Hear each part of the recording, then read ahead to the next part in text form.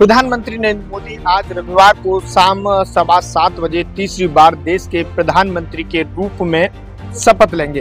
हालाँकि उससे पहले तमाम जो राजनीतिक दलों के द्वारा बैठक का दौर जारी है, इस वक्त मेरी मौजूदगी गृह मंत्री जो कि अमित शाह हैं, उनके घर के बाहर में मौजूद हूँ और अभी अभी यहाँ पर जो बिहार के नेता हैं, जितिन राम मांझी अभी अमित शाह से मिलने पहुँचे हैं। जेपी नड्डा भी यहाँ पर मौजूद हैं, लगातार। आला कमान की जो बैठक है, वो लगातार जारी है, क्योंकि आज प्रधानमंत्री नरेंद्र मोदी ने शपथ लेने से पहले पहले प्रधानमंत्री नरेंद्र मोदी जो कि राजघाट स्थित गांधी जी की समाधि स्थल पहुँचे, उसके बाद अटल बिहारी वाजपेयी जी के समाधि स्थल पहुँचे, वहाँ पर उन्होंने पुष्प अर्जित किए, उन्हें नमन किया, और लगातार जो बैठकों का दौर जारी है, क्योंकि इस बार बीजेपी अकेले दम पर सरकार नहीं ला रही है, क्योंकि एनडीए के जो घटक दल हैं उनके सहयोग से आ, सरकार लेकर आ रही है। मेरी मौजूदगी देख सकते हैं। यहाँ पर बैरिकेटिंग यहाँ पर लगी हुई है। लगातार बड़े बड़े नेता यहाँ पर पहुँच रहे हैं। अमित शाह का ये घर है।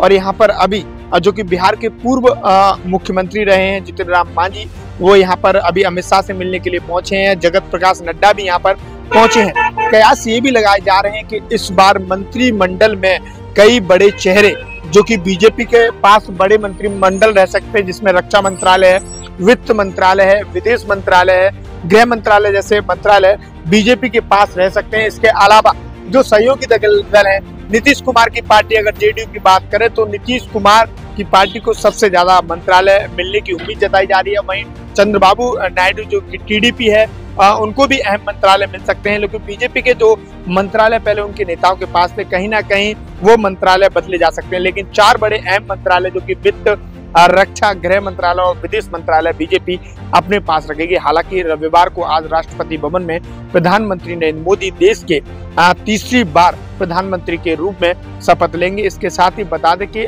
सात देशों के राष्ट्र अध्यक्ष भी आज मुख्य अतिथि के रूप में यहाँ पर आ रहे हैं। बांग्लादेश की प्रधानमंत्री की बात, नेपाल और नेपाल के प्रधानमंत्री भी यहाँ पर आ रहे हैं। इसके अलावा मालदीव के राष्ट्र पति यहाँ पर आ रहे हैं और भूटान के प्रधानमंत्री भी यहाँ पर आ रहे हैं। पूरी दिल्ली में अगर लुटेन जोन की बात करें तो तमाम समारोह को लेकर बड़े बड़े पोस्टर, बैनर लगाए गए हैं प्रधानमंत्री नरेंद्र मोदी के, जो कि शपथ ग्रहण समारोह को लेकर बड़े बड़े पोस्टर, बैनर्स लुटेन जोन की तमाम गोल चक्कर पर लगाए गए हैं। इसके अलावा विपक्ष के नेताओं को भी न्योता दिया गया है, कांग्रेस पार्टी को भी न्योता दिया गया है। हालाँकि मल्लिकार्जुन खड़गे ने साफ़ कर दिया है कि इंडिया गठबंधन के जो साथी हैं, उनसे पूछा जाएगा, उसके बाद ही फैसला जाएगा लिया जाएगा कि शपथ ग्रहण समारोह हमें जाए न या न जाए। लेकिन ममता बनर्जी ने नौता को अस्वीकार कर दिया है। ममता बनर्जी ने साफ़ तौर पर कहा है कि ये जो सरकार है, पूर्व बहुमत की सरकार नहीं है। और अवैध तरीके से, यानी कि अनलोकतांत्रिक तरीके से सरकार बनाई जा रही है। इसलिए ममता बनर्जी ने शपथ ग्रहण समारोह में जाने से इनकार कर दिया। वहीं अगर बात करें तो राजनीतिक पूरे घटनाक्रम की तो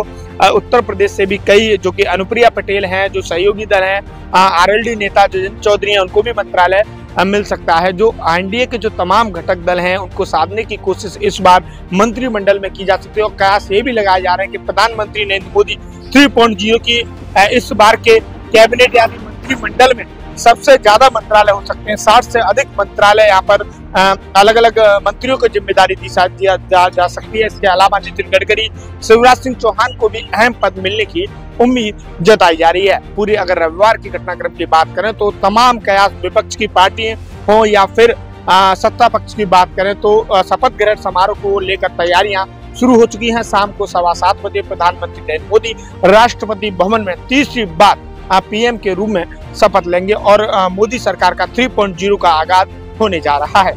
दिल्ली से निखिल कुमार, आदान, हिंदी के लिए।